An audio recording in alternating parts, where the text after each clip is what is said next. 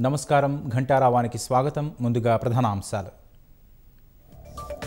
వ్యవసాయ బిల్లు తేనె పూసిన కత్తి లాంటిదన్న కేసీఆర్. రాజ్యసభలో వ్యతిరేకించాలని తెరాస ఎంపీలకు ఆదేశం.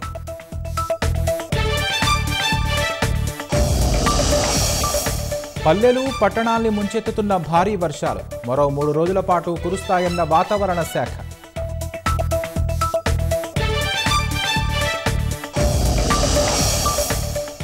జాతీయ సగటుతో పోల్చితే తెలంగాణలో తక్కువగా కోవిడ్ మరణాలు. కట్టడి చర్యలపై రాష్ట్రానికి కేంద్ర మంత్రి గోయల్ ప్రశంసలు. కోవిడ్ రికవరీ రేటులో భారత ప్రపంచ రికార్డు. ఒకే రోజు కోలుకున్న తొంభై ఆరు వేల మంది బాధితులు.